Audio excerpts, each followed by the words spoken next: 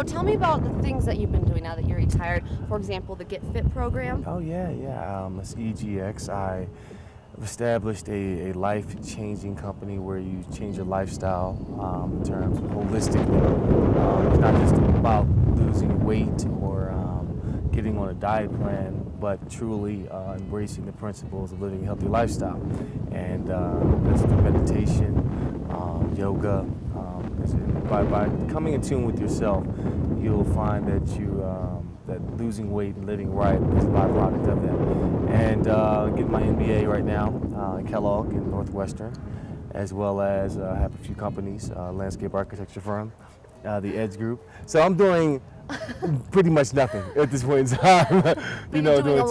lot. No, I'm doing a lot of Yeah. things in, in, into TV with Fox Sports Net and uh, Best Damn Sports Show, and um, it's been good. It's been really good so far.